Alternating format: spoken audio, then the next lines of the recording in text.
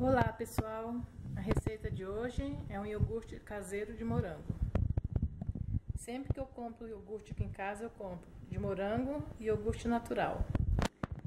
O iogurte de morango sempre acaba rapidinho, e o iogurte natural vai ficando dentro da geladeira.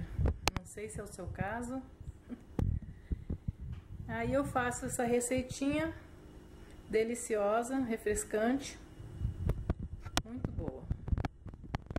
ingredientes são 700 ml de leite geladinho, 2 potes de iogurte natural,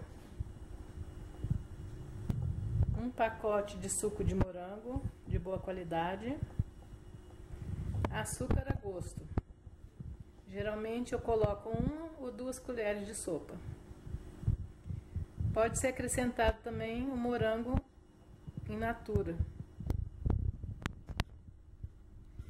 Agora eu vou bater todos os ingredientes no liquidificador.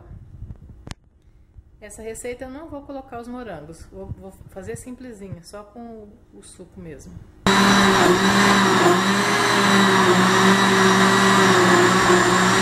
Essa receita rendeu 1 litro e 300 ml, mais ou menos. Agora eu vou servir nos copos. Como eu falei anteriormente, se quiser bater com pedaços de morango, Pode também. Ou fazer simples, sem morango. Render uns quatro copos mais ou menos. Iogurte caseiro de morango, rápido, fácil e muito gostoso. Aqui é Solange Lima, até a próxima receita.